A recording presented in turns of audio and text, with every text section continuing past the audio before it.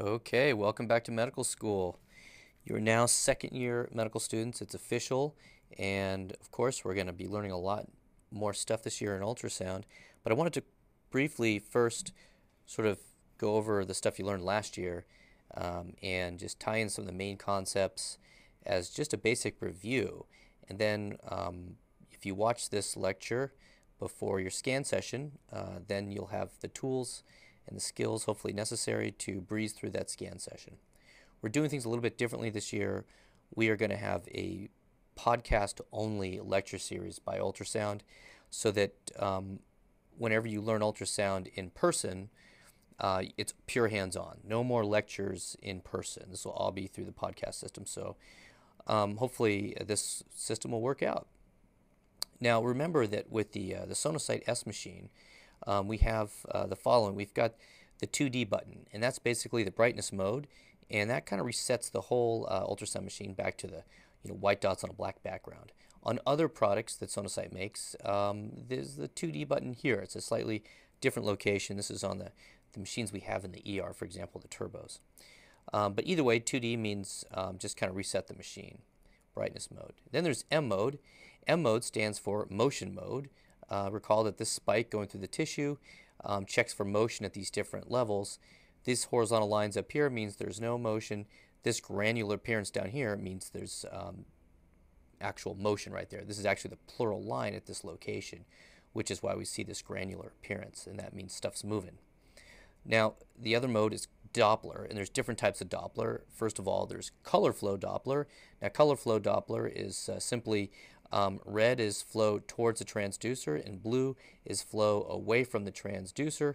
And um, if you angle the probe one way or the other to try to anticipate which way the flow is going to be going, it should either be red or blue, and it should make uh, sense to you. Keep in mind that right at 90 degrees, uh, when the flow is at 90 degrees to the axis of the transducer, the um, cosine of theta is in the numerator of the Doppler equation. I know you hear me say that all the time over and over again but it's worth repeating because you may be puzzled sometimes as to why you're not getting any flow, even though you're turning on the, uh, the Dopplers. You may need to angle the transducer um, to get off at 90 degrees because cosine of 90 is zero, and that's not uh, going to give you any information since it's in the numerator. So color flow, and then there's um, power flow. Power flow is where after you've got the color on, you can toggle with the power uh, flow. And when the power flow is on, it looks like orange only type of flow. It's not directional and uh, it's a lot less angle dependent and easier to work with than the color flow is. It's also more a sensitive type of, of flow that you would use, for example, uh, at low flow states like um, the lymph nodes or the testicles. And then finally, the um, different transducers have different frequencies about which they can toggle. And so you want to be able to have an idea of how to get the probe to go from 5 to 10 or 3.5 to 5 or 5 to 10 or 1 to 5. And uh, you know that the higher frequency means better resolution, but the sound can't uh, penetrate as far. And so, and that's that's the idea. So with uh, higher frequency, um, you'd use that on a on a, for example, with this transducer, you'd use that on a thin patient, whereas you'd go down to the one megahertz if the patient was really large. And uh, you know the same holds true for these different uh, transducers. Basically, um, you always want to take advantage of that and use the highest possible frequency to penetrate to the depth of interest. And the way we change the frequency is uh, on on the on one machine. You this is the um, button right here that changes it corresponds to this button here. This menu soft key corresponds to this button, and then um, over here on the S machines, uh, it's this button over here that corresponds to uh, this menu item here and you just basically push in either this button or this button, and then it's going to go from the, uh, the gen or general mode, and that's right in the middle frequency range of the transducer. When you push that button, it's going to toggle up to the res or resolution mode, and if you push it again, it's going to go down to the pen or a penetration mode. And uh, that's for the really large uh, obese patient. That's the lowest frequency uh, that each transducer can go to. Um, again, if I back it up, here we are at resolution mode. That's the highest possible frequency that uh, each transducer can go to. Um, and then general is right in the middle. So if it goes from like 1 to 5 megahertz, gen is 3 megahertz, res would be 5 megahertz, pen would be 1 megahertz. Now the basic scanning planes are pretty easy, but just to review them, or at least two of them here, the ones that confuse people. The sagittal plane is where you have the indicator aimed towards the patient's head, and sagittal means long axis when approaching anteriorly. And uh, so this would be the skin line here. This is anterior, and back here is posterior. Over here is superior towards the patient's head, and down here is inferior towards the patient's foot. Now, if I take that probe and move it from this anterior location and then put it on the side of the body, while the, still a longitudinal plane, we now have a, a coronal plane, though, because we're coming from the side of the body. So over here, this is lateral now, and this becomes medial. This is still superior. This is still inferior. Indicator towards the patient's head. Now, the various artifacts, just briefly, you need to know the low attenuating uh, artifact, that's like fluid or the bladder. Remember, everything behind the bladder gets really hyperechoic, and you may need to compensate by turning down the far field gain. Here's the bladder here. Here's all this material back here that's hyperechoic. And what we would do is we could turn down that far field gain to compensate for the fact that the bladder is a low attenuating structure. But we can see how overgained the image is behind the bladder because it's low attenuating. Refraction is when you've got two different mediums of different densities and the sound gets redirected as it goes between one medium and the next, not unlike Snell's law by putting a pencil in a glass of water, which is why we see these shadows that come down on edges of an organ.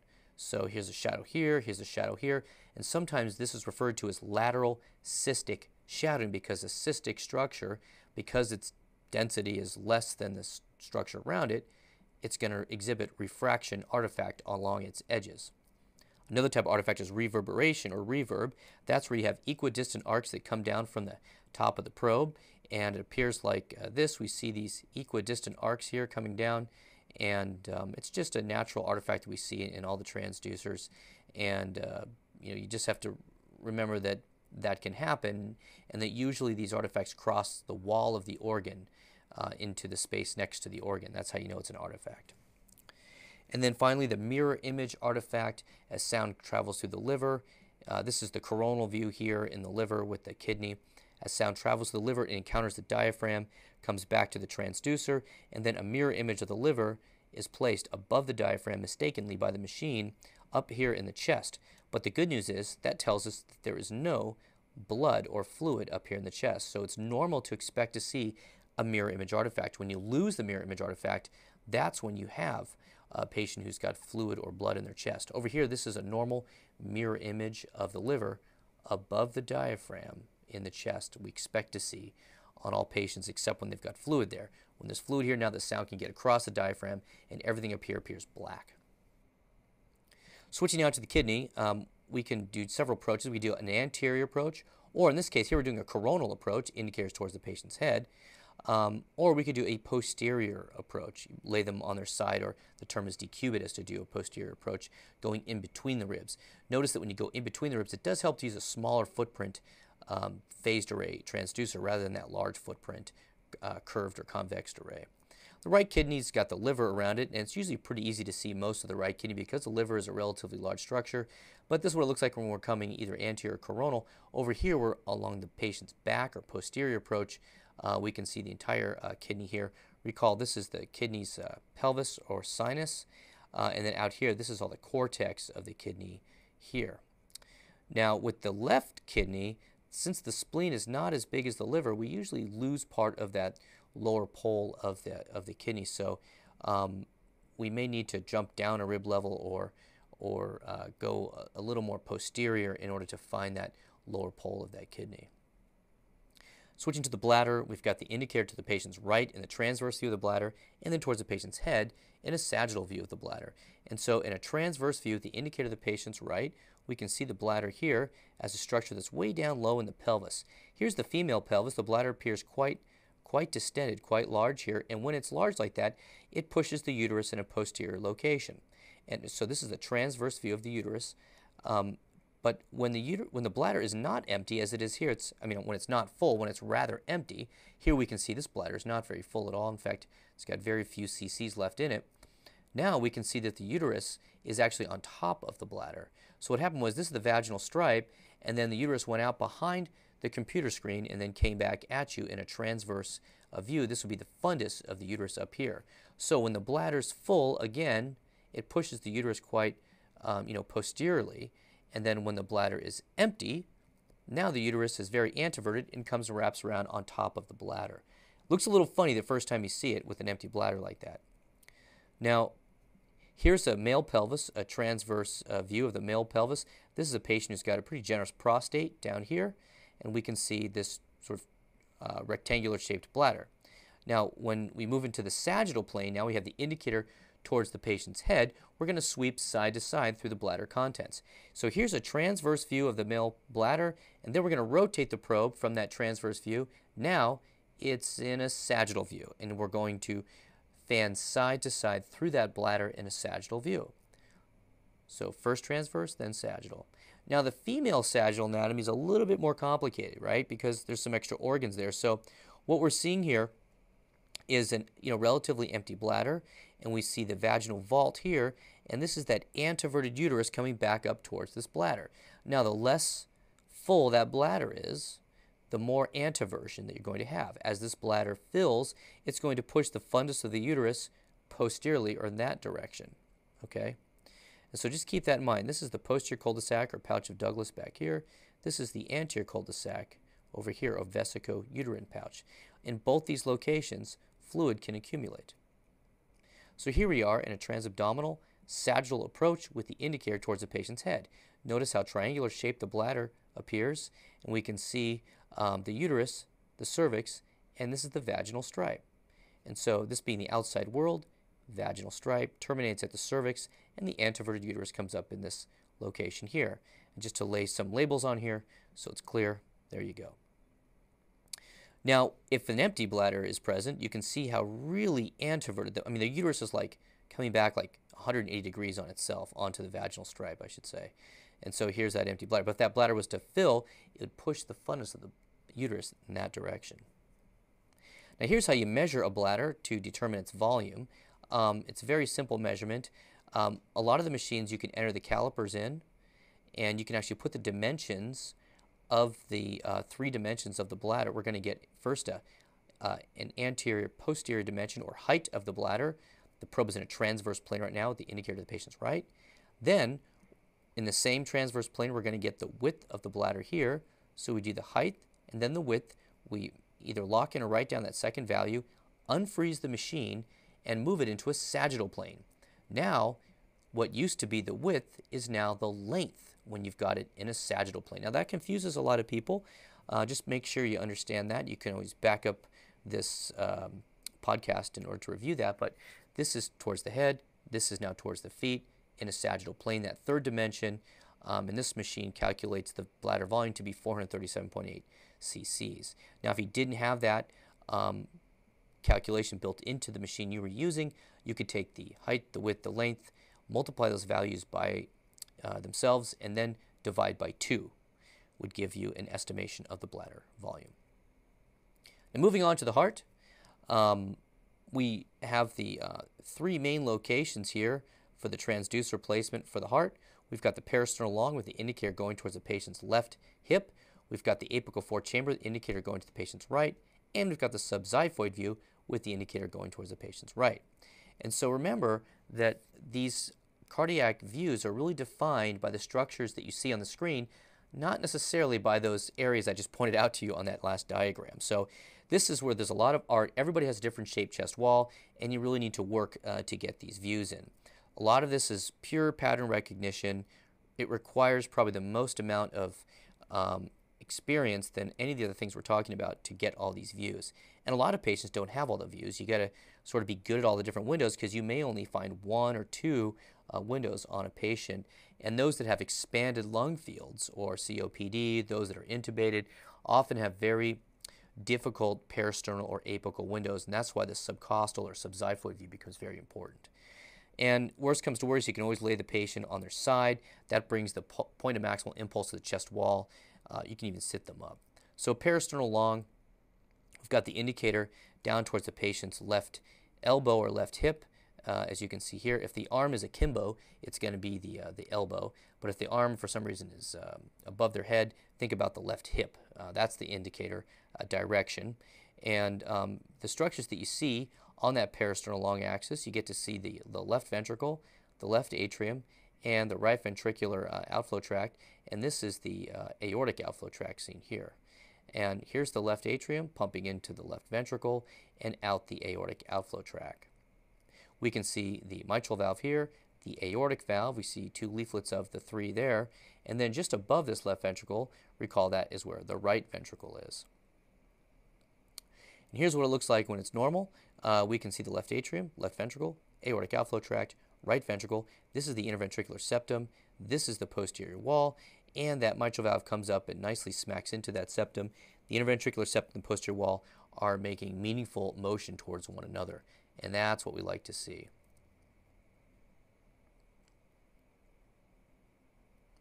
So from the long axis, you rotate the transducer 90 degrees, and then you'll get to the short axis. And depending where you are along that heart, if you're very you know, proximal, right up by that aortic valve, you may see this, the three cusps of the aortic valve, or what some people refer to as the um, Mercedes-Benz sign.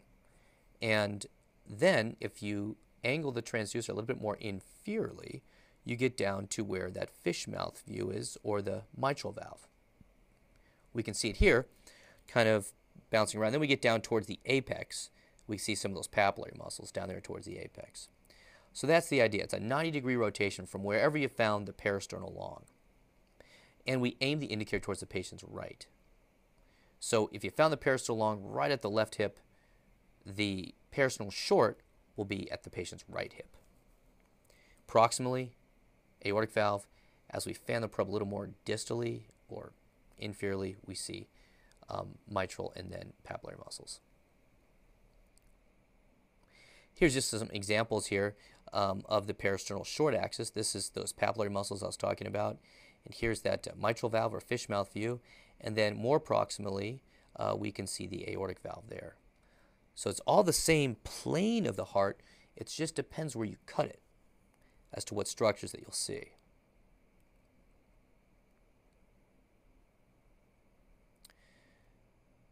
You can see those papillary muscles, the mitral valve, and then uh, finally the uh, aortic valve in that view there.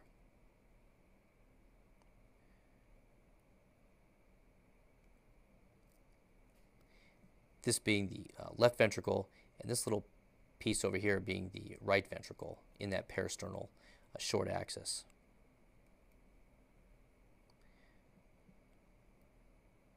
Here we go again, the parasternal short axis. We see the left ventricle here, and we see the right ventricle adjacent to it here sometimes. These are papillary muscles seen down here. So we're down towards the apex in that view. This one here we're a lot more proximal because I see the, the Mercedes-Benz sign of the aortic valve right in the center of the screen.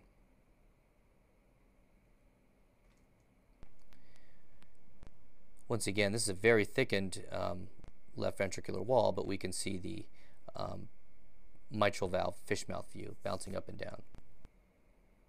Now, the apical four chamber involves placing the transducer right at the point of maximal impulse, aiming the sound towards the base of the heart.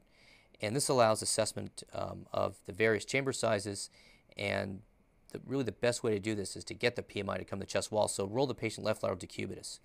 We can see as an example of what we're trying to convey here We've got the probe down on this side of the, the chest looking up towards the great vessels. And as we do so, we can uh, make out the various chambers. This is an upside down view trying to demonstrate where the skin line is, where the probe is placed against the skin line, but it's really looking up into the heart in this projection here, this being the left side of the heart, the left ventricle, left atrium, right ventricle, right atrium. Although just remember, this is an upside down sort of um, view, just to make this demonstration hopefully more clear. And this is the actual sector. We can see it from the top of the screen, LV, RV, LA, RA. You can see these labels come along now. The left ventricle, the left atrium, the right ventricle, and finally the right atrium.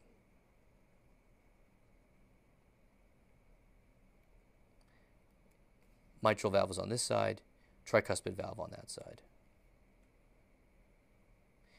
Just another normal apical four chamber view. Here's the LV, RV, LA, RA. Septum is up here.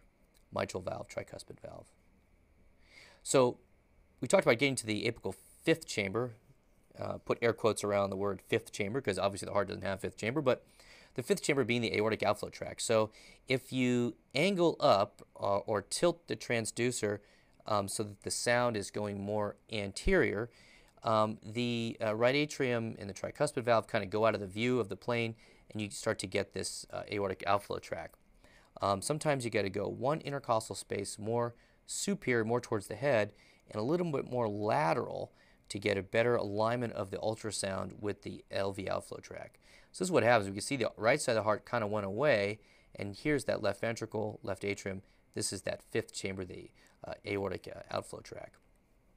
And it's that aortic outflow tract here that we're going to really start thinking about where to place our Doppler. But before we get to where we place the, the pulse wave Doppler, we're going to talk about the um, location to, to first measure the LVOT diameter.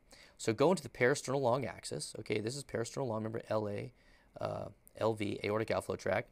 And, um, and you want to go right when that aortic valve is open, right during systole. We can see the aortic valve maximally sort of excursion here, and that's the, the distance between the um, origins of the leaflets, where we're going to measure the left ventricular outflow tract diameter.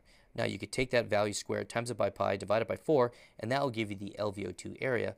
Luckily, our ultrasound machines do that um, simple calculation for us. And then um, we're going to take the velocity time integral um, of the LVOT. So here's what happens. It's the amount of blood that's going through that left ventricular outflow tract um, that is given by the velocity time integral. And so what we do is um, we line up in the apical fifth chamber, we put that pulse wave Doppler sampling gate right over the valve, the aortic valve, and um, right at the LV outflow. And combined with that other measurement that we had, the LVOT um, diameter, we, we then um, activate the tracing, uh, the waveform of the pulse wave Doppler. And it's this envelope, um, this volume, that of flow that is the that the machine is going to take the integral of and to give you the LVOT, um, or to give you the um, LVOT velocity time integral, I should say. So here's that LVOT diameter squared times pi divided by 4, that term we already knew. Now, this is what the machine is going to calculate for us over here. These two things combine together to give a stroke volume, and it looks at the heart rate on the screen and multiplies that by the stroke volume, and then we'll pop out the cardiac output in uh, liters per minute.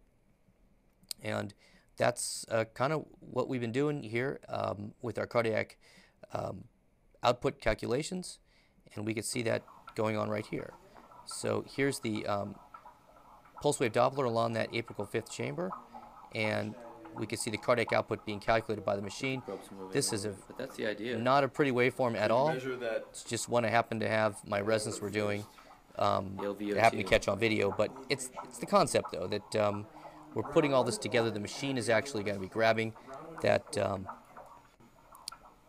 the velocity time integral for us, and combined with the LVOT diameter, um, we'll calculate the cardiac output. Now, moving on to the other view of the heart, the subxiphoid view, the probe will be placed um, flat just underneath the xiphoid process, and looking up uh, towards the chin, we'll be able to use the liver as our window to get a good four-chambered assessment of the heart. Now, um, sometimes it's difficult to do this view, as you've all kind of realized last year, depending on your patient's uh, chest wall shape and abdominal uh, cavity shape. So what you need to do with the indicator aimed at the patient's right, sometimes it's helpful to start right up underneath this, underneath the liver. Make sure you get a good view of the liver on the screen, and then slide that transducer right up into the subxiphoid notch, and then more often than not, you'll see the heart on the other side of the liver. That's the idea.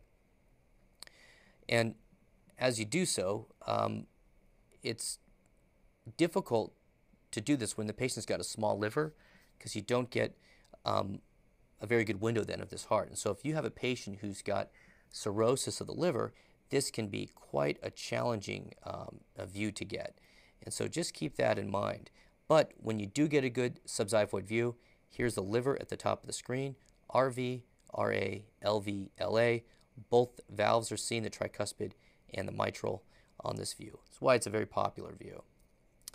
One way to try to, to keep in mind to how to remember the, the protocol uh, to get all these views is you could think about doing a clockwise approach. So you can plop the probe down on the chest wall, okay, and first aim the indicator towards the patient's left, and that'll give you the parasternal long axis. And then simply rotate the probe 90 degrees to the patient's right, and that'll give you the parasternal short axis.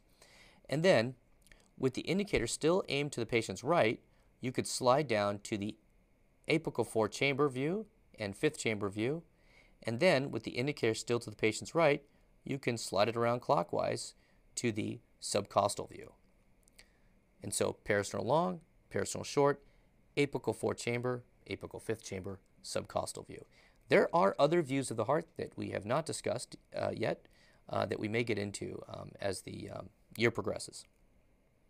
Moving now to the gallbladder. Uh, basically, um, gallbladder scanning 101 involves taking a transducer, either a curved array or a phased array transducer. In this case, we're using a large footprint curved array. We have the indicator aimed to the patient's uh, head, have the patient take a deep breath, and then you're going to slide along that subcostal uh, margin uh, laterally. And uh, what you should see is this. Here's the fundus of the gallbladder, the body, and down here is the neck of the gallbladder.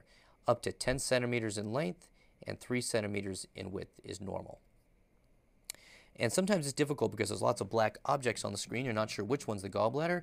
Keep in mind that the main interlobar fissure, or MILF, is visualized to connect the portal vein to the neck of the gallbladder. We could see one example here of that interlobar fissure. Uh, we could see another great example here of this main interlobar fissure. Again, portal vein, neck of the gallbladder here. And it's just basically one of the landmarks to think about.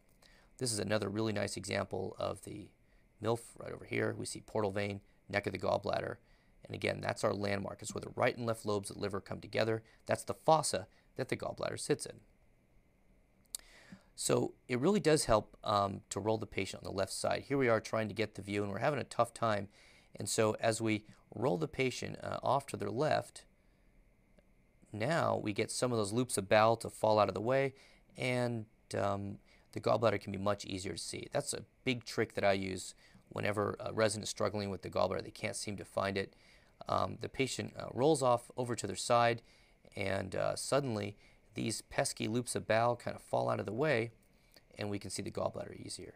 Once you insufflate the gallbladder in the long axis, you also need to uh, view it in the short axis.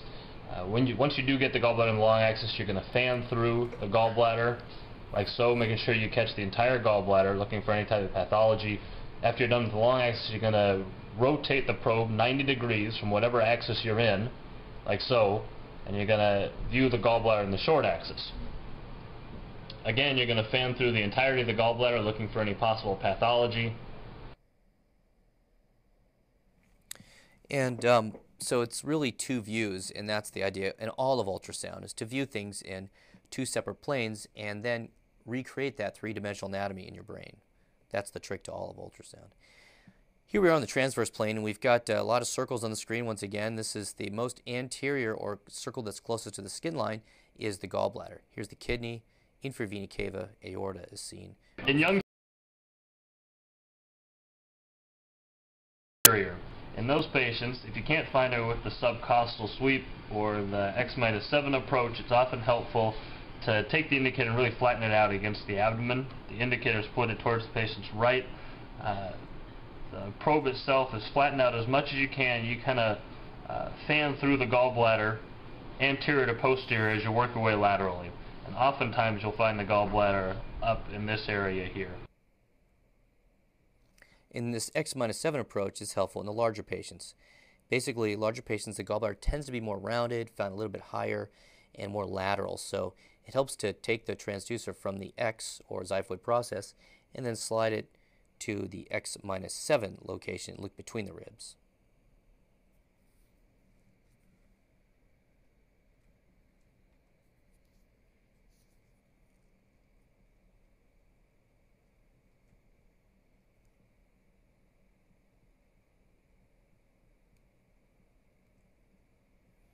But the gallbladder will test your um, ability to find it many times. It's really the art of sonology. you know, you can find it in all these different locations here. Sometimes you're in a coronal plane, sometimes you're transverse, sometimes you're sagittal. It's just you're, you know, having the patient take a deep breath, you're rolling them on their side, you're looking between the ribs. It's just this, um, it can be difficult. And there's other pitfalls that we're going to go through the rest of the year when it comes to gallbladder pathology um, that can trip you up also. So just keep that in mind. The gallbladder is a, is a word.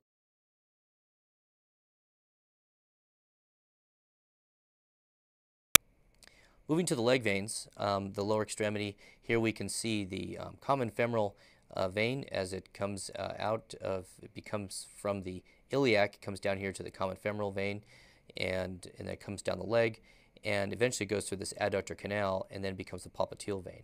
This adductor canal is very difficult to visualize the common femoral vein in, but usually about a third or half way down the leg, you can get most of the uh, visualization pretty easily. And um, so that's what we're going to be doing. We're looking for a DVT in the lower extremities is compressing this area here in a transverse plane, and then we move to the popliteal fossa. And we can see here, this is a very proximal location, superficial and deep femoral arteries. Here's the common femoral vein. Notice that it's medial to the arterial structures. Venous is closer to the penis. Venous, penis, it rhymes. It's easy to remember. Sometimes you get all twisted around, you're not sure where you are. So um, in this case, this would be the left leg. And sup superiorly, we have this medial lateral configuration, but as we march distally, um, these structures become anterior posterior pretty quickly. And that's the location of the femoral vein. Now, in the popliteal fossa, what happens is the vein uh, is more superficial to the artery, or the vein comes to the top in the pop. Here we are uh, behind the knee, and uh, as we come down, we can see there's a little bifurcation many times, sometimes even a trifurcation. And what we're going to be doing is compressing um, the vessels back here behind the knee. I usually take my hand and put it on the patient's knee, and take my other hand on the probe and push my two hands together. And this is what it looks like when there's no blood clot in the venous system. Here's the saphenous vein, common femoral vein, common femoral artery without compression. This is with compression. The venous structures easily compress away. And it's at that location, way superiorly where the saphenous uh, is confluent with the common femoral vein, that you want to start this process and then march distally. So when you have good full compression here, uh, there's no clot. And you know you're pushing too hard when you start to see the arteries compress. And when you do have a clot, it looks like this. Here is echogenic uh, material seen here in the um, lumen of the common femoral vein. And as we compress, it does not, um, the walls do not coapt or come together. And once you determine that somebody does have a blood clot, you don't want to compress anymore. You know, capture that on video and uh, show somebody without having to keep compressing it because the more you compress these clots, the more likelihood of dislodging a DVT and becoming a pulmonary embolism, which is not a good thing, obviously. Here we are in the popliteal uh, fossa now. Remember the vein comes to the top in the pop. We see it nicely compressible. This is the artery down here. It stays open. Try to track this artery here. It's a lot of movement. Uh, but that's the idea. The veins compress, the artery stays open. But when we have a clot back there, here's the artery right here. This is the clot here. It's actually pretty dilated uh, vein here with this clot in it.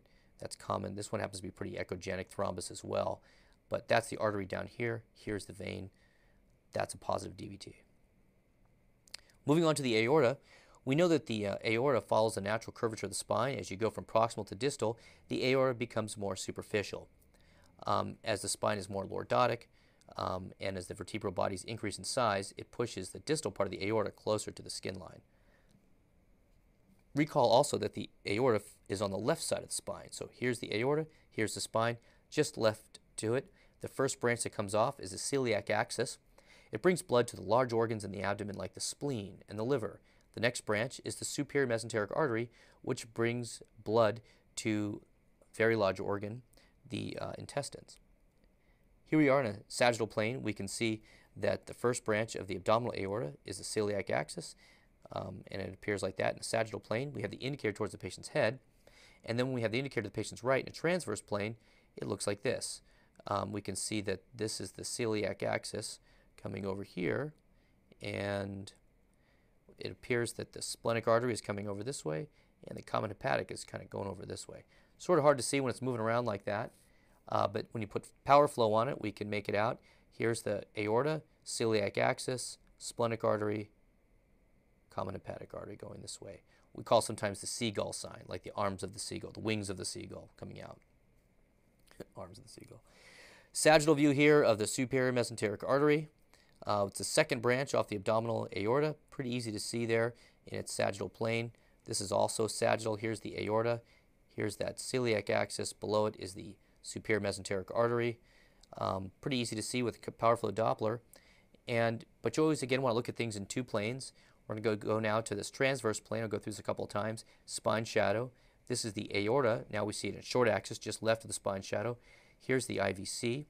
Splenic vein. I'm sorry, left renal vein. This is left renal vein here, getting nut cracked between the SMA and the aorta. The left renal vein is trying to drain into the IVC.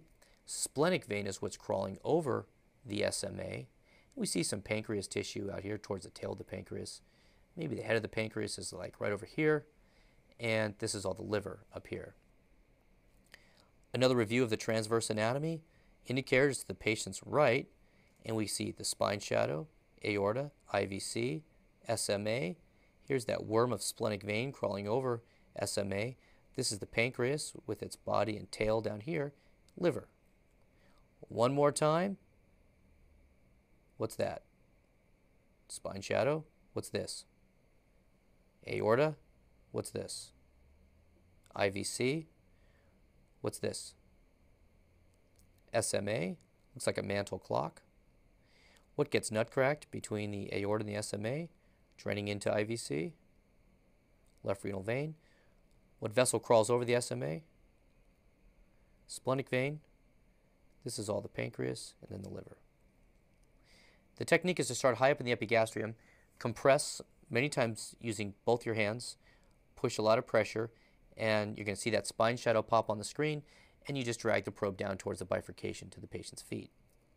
Now here we are in a sagittal plane, and we are actually looking at not the aorta, but the IVC. The IVC is traipsing along underneath the liver. This is the portal vein here, and the structure that runs perpendicular but, posterior to the IVC is what? Well, it's the right renal artery. See, the right renal artery is trying to get blood from the aorta, which lies on the left side of the body, over to the right kidney, which is on the right side of the body, and to do so, it needs to go behind, but cross perpendicular to, the IVC. That's why we see it kind of pooching into the IVC. And uh, here, once again, transverse plane, we see the IVC here, aorta, left renal vein, SMA, splenic vein, pancreas, liver. Now, the IVC is important because it's a non-invasive, it's a non-invasive way to estimate the pressure in the uh, right atrium. And this becomes important when you're trying to determine a patient's volume status or fluid status. In the setting of hypotension, there's a very strong urge by everyone to push more fluids, but sometimes that's not the cause of the hypotension. So you wouldn't, sometimes it's very contraindicated to push more fluids. And this is a way to determine that. Basically, um, that the smaller the IVC, the more collapsible it is, the lower the pressure in the right atrium of the heart is. The more plethoric or large the IVC is, and the less collapsibility, the higher the pressure. So here's an IVC right here that doesn't really change much with respiration.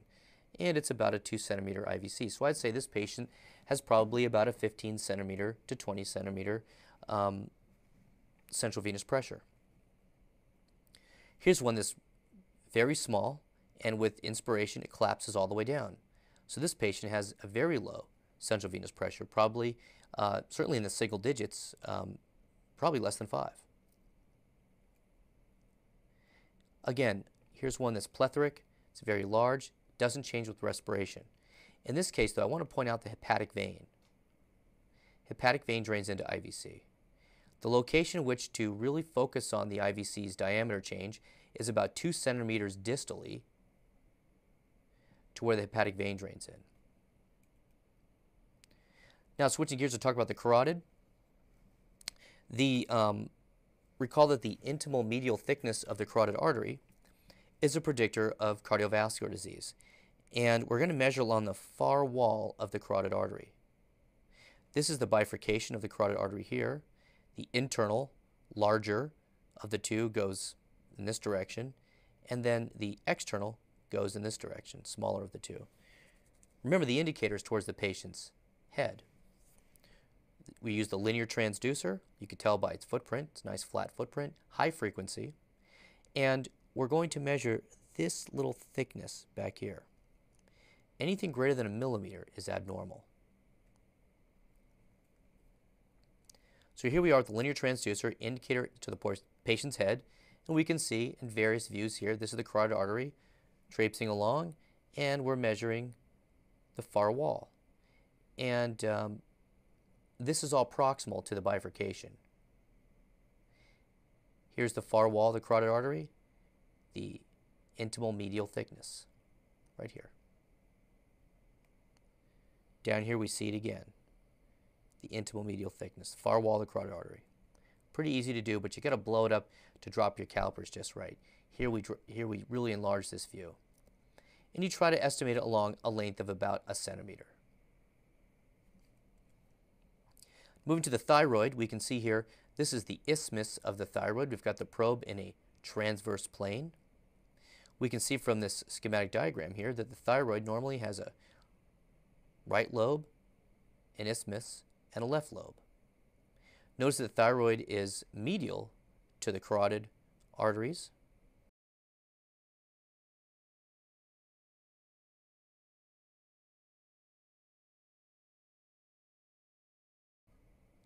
The thyroid should have a very nice isoechoic texture to it, somewhat hyperechoic and isoechoic. It looks, for all intents and purposes, almost exactly like the testicle tissue. Same sort of glandular looking appearance here. This is a sagittal view of the thyroid. We can see some of the vasculature poking through it, and we can see its nice isoechoic texture. When you scan the eye, you want to use copious amounts of gel. Have the patient close their eyelid and use a lot of gel so you don't really even make contact with the eyelid. The probe is sort of sitting up here just above this ultrasound gel. And we can see the eyelid here is closed. And the various parts of the eye are outlined here. There's the anterior chamber. That's the lens. The iris you can appreciate here in fact, where this iris comes together, the area here in the middle here, is the pupil. So it's not surprising that this pupil is quite dilated right now because the eyelid is closed. But if you shined light in the other eye that you weren't doing the ultrasound in, that was open, you would see contraction of this pupil. Now, the area back here is all the posterior segment or the vitreous humor. And the retina lies right back along here, right along the choroid of the eye. This is the choroid of the eye back here. And this is the optic nerve sheath coming down from the back of the eye.